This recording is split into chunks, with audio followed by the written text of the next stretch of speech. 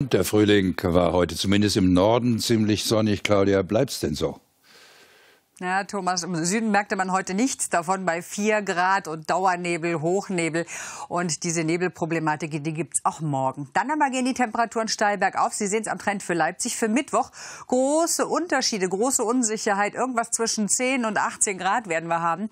Wahrscheinlich wird's dort noch am Mittwoch ziemlich warm bleiben. Da kommt dann nämlich eine Luftmassengrenze zu Deutsch oder nach Deutschland herein und zieht dann von West nach Ost. Morgen Vormittag Nebel, Hochnebel im Süden und Westen, im Norden schon richtig sonnig. Auch im Laufe des Nachmittags wird es nach Nordosten hin freundlich bleiben. Vor allem im Westen von der Nordsee runter bis zum Saarland dichte Wolkenfelder, tief hängende Wolken. Temperaturen unter diesen Wolken auch meist nur 4 bis 9 Grad. Sonst geht's rauf auf bis zu 13 Grad. Dann ab und zu Schauer am Dienstag im Süden und Osten relativ warm. Im Mittwoch nur im Osten noch bis zu 20 Grad. Von Westen deutlich kühlere Luft. Da haben wir es dann gerade mal noch mit 6, 7 Grad zu tun.